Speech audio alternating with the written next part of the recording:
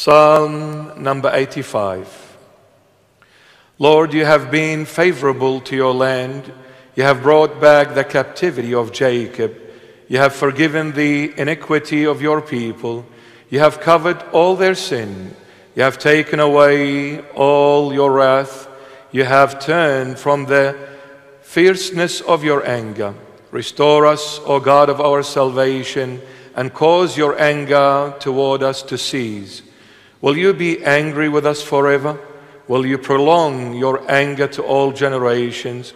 Will you not revive us again, that your people may rejoice in you?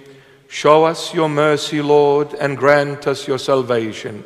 I will hear what God the Lord will speak, for he will speak peace to his people and to his saints, but let them not turn back to folly.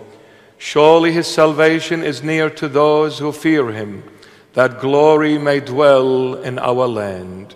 Mercy and truth have met together, righteousness and peace have kissed. Truth shall spring out of the earth, and righteousness shall look down from heaven.